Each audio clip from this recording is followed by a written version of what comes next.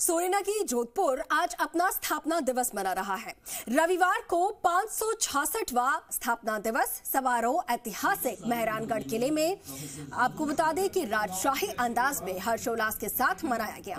जोधपुर के पूर्व नरेश गज सिंह ने इस मौके पर अभिनेत्री इला अरुण और 18 प्रतिभाओं को मारवाड़ के सर्वोच्च मारवाड़ रत्न सम्मान से नवाजा। मेहरानगढ़ में आयोजित मुख्य समारोह में इस बार युवा सरोद वादक निजार खान द्वारा। सरोद की जो यहाँ पर प्रस्तुति है, वो भी शानदार तरीके से दी गई। और इसके साथ ही डॉक्टर महेंद्र सिंह तंवर द्वारा लिखित पुस्तक जोधपुर दुर्ग मेहरानगढ़ का लोकार्पण भी किया गया। साथ ही मेहरानगढ़ म्यूज़ियम ट्रस्ट द्वारा प्रस्तुत और अभिमन्यु कानोडिया द्वारा निर्देशित डॉक्यूमेंट्री फ़िल्म मैं थासू दूर कोनी।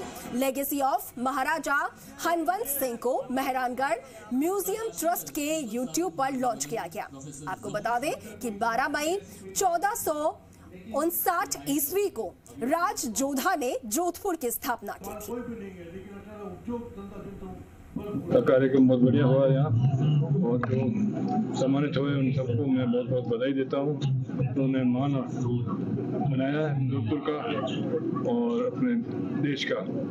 उनसे लोग प्रेरणा ले और साथ ही साथ अपने जोधपुर वासियों में मैं कहना चाहूँ कि आप अपने शहर में उधर शहर में अपने घर होना चाहिए और ऐसा काम करो।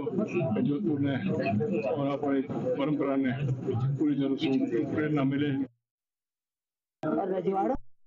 से हमारे यहाँ ये परंपरा चली आई है कि लोक कलाकारों को लोक मेलों में हर जगह उनको बहुत आगे बढ़ाया। मुझे लगता है जितना राजस्थान, मैं किसी सरकार तो आती ही जाती है, पर पूरे राजस्थान के हमारे महाराजा और हमारे जितने भी गवर्नमेंट्स जो आ रही वो हमारे कलाकारों की बहुत इज़्ज़त करते हैं। और टूरिज़्म जब आया था, तब भी वो कहते थे कि टूरिज़्म थ्रू कल्चर हमारे पास कल्चर है।